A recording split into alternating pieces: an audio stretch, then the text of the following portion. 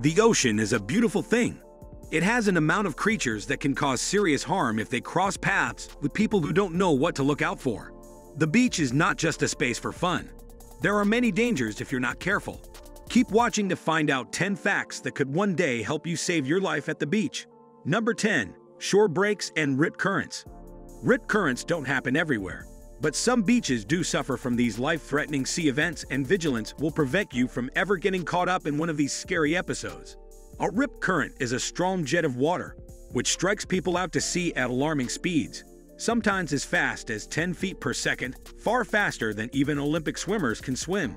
Rip currents form because water from breaking waves on a beach needs to find a way back out to sea, so they flow into deeper channels and away from the shore.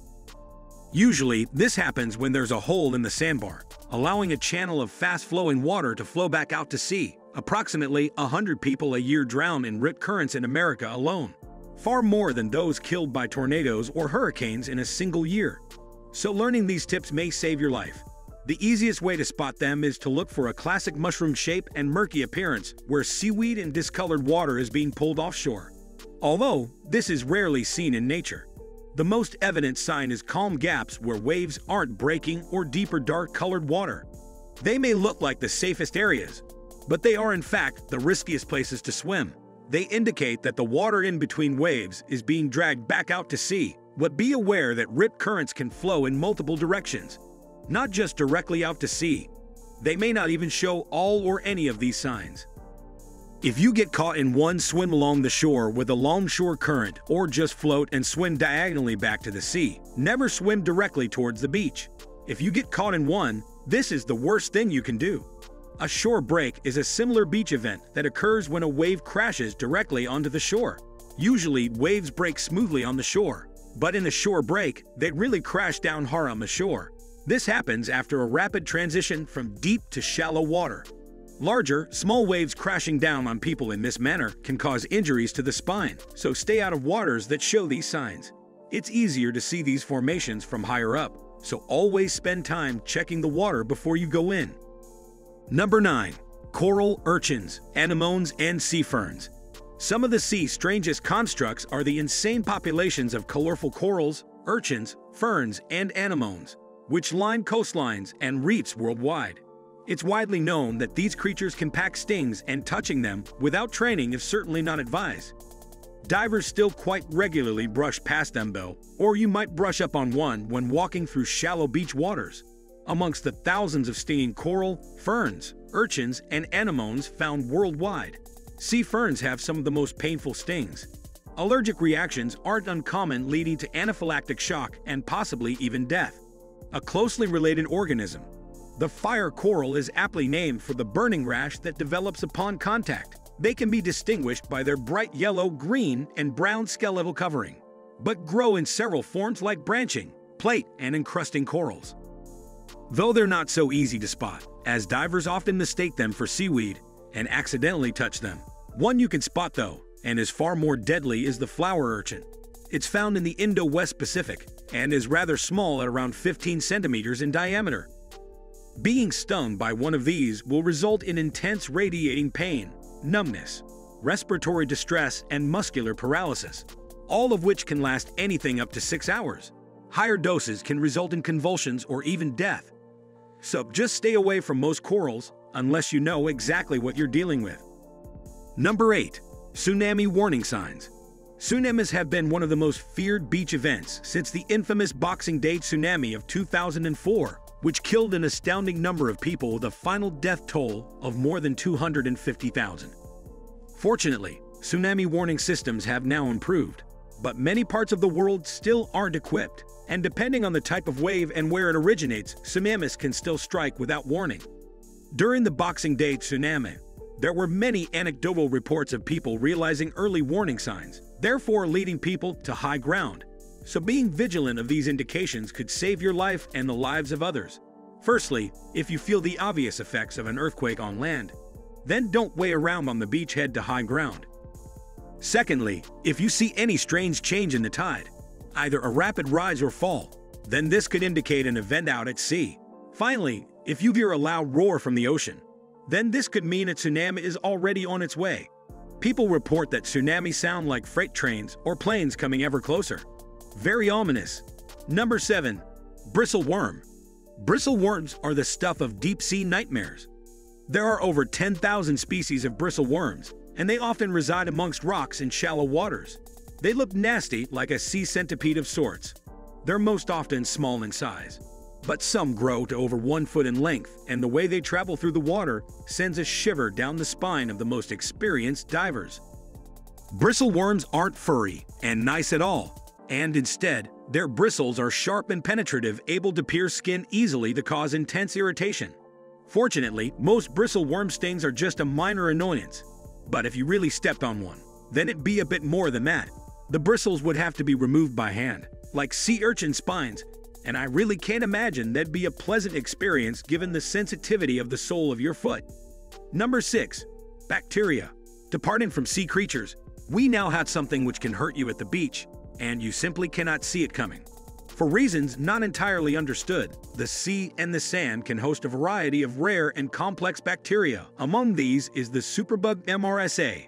There have been many anecdotal reports of people contracting MRSA following potential exposure at beaches.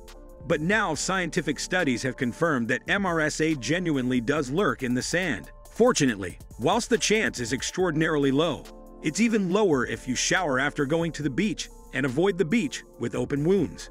Potentially more sinister than that, though, the beach has the ability to harbor some truly exotic bugs, like ghastly forms of flesh-eating bacteria. There are a few reports of flesh-eating bacteria like Vibrio vulnificus infecting people through open wounds as these bacteria can survive in beach water. A man in Maryland was killed in a few days after contracting an infection of this type from ocean water near his home.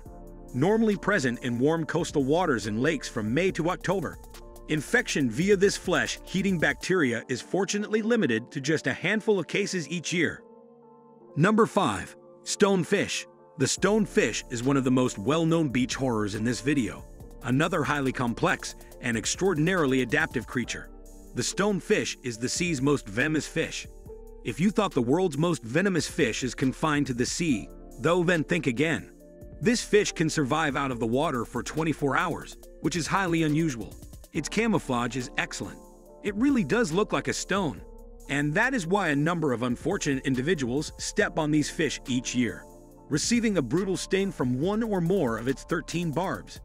This fish is actually represented in a dance performed by Aborigines in Australia due to its awesome ability to strike down unfortunate humans. The dancer illustrates intense agony before falling down, limp on the ground. Fortunately, stings only to the stomach or chest usually are the most serious, and because it's usually your foot that meets the stonefish's barbs, this fish isn't likely to kill humans. It is still extremely excruciating though. Number 4. Marbled Cone Snail this funnily dangerous snail is such a strange host of some of the world's deadliest venom. You'll find these snail shells in souvenir shops as they're beautifully marbled with fantastic patterns. It's no wonder that some naive individuals have met an unfortunate demise when handling them incorrectly when alive. One drop of this snail's venom is enough to kill 20 humans, and the mechanism by which it delivers its payload is quite remarkable. It uses a harpoon, which is essentially a loaded hypodermic needle, that can be fired at prey passing by. This snail is an expert fisherman and its harpoon can be up to 5 feet long when the snail itself is only 5 inches long at most. If that wasn't amazing enough, then hear this. The venom is so complex that you can't relieve its effects with anti-venom. The cone snail can produce hundreds of different toxins and delivers them as a multi-toxin cocktail. It prevents communication in the nerves which paralyzes its victims. So the snail can then devour its lifeless body Around 30 known human deaths have been attributed to this snail. In a battle between land snails and sea snails, we know who would prevail with these harpoon-firing sea tanks on their side. Number 3. Jellyfish and the Portuguese man o' war. Although they aren't actually jellyfish, the Portuguese man o' war is a real tyrant, and some have been known to grow to 50 meters below the seas. They're not all this huge, but most of them pack an extremely painful sting that kills fish with ease. They can seriously injure humans and fatalities aren't all too uncommon. There is a reason why this strange creature has been dubbed the floating terror. They wash up on many beaches worldwide, and whilst they're big enough to avoid, their tentacles can sometimes detach, and they're not so easy to spot. However, amongst the array of strange jellyfish that inhabit beaches and shorelines worldwide, there is one that is more infamous than all the box jellyfish. In fact, it's one of nature's deadliest, stinging creatures and is responsible for hundreds of deaths each year. The long list of damage that can ensue from one of their stings is a bit harrowing to read as the toxins attack the nervous system, the skin, and the heart. Many people go into shock and actually die before reaching the shore. One curiously dangerous jellyfish is the Irukandji jellyfish, which is tiny at just 2.5 centimeters across and rather beautiful too. These rival the box jellyfish in toxicity, but the onset of symptoms is often slower than a box jellyfish, making it harder to identify and treat. Thankfully, deaths attributed to these are rare at just a few in the last 100 years. So obviously, stay as far away as you can from jellyfish-populated waters in general. Beaches at particularly high risk are often littered with warning signs. Finally, if there are strong winds, they're likely to be near the shore, so avoid the water in this case. Number 2. Harmful algal blooms and polluted waters. We know that the sea isn't always an azure shade of blue, but we don't expect it to be red either. That's what happens when algae accumulate at the shore, blooming rapidly. Algae and plankton are found in small quantities at many beaches, and usually it poses absolutely no problems.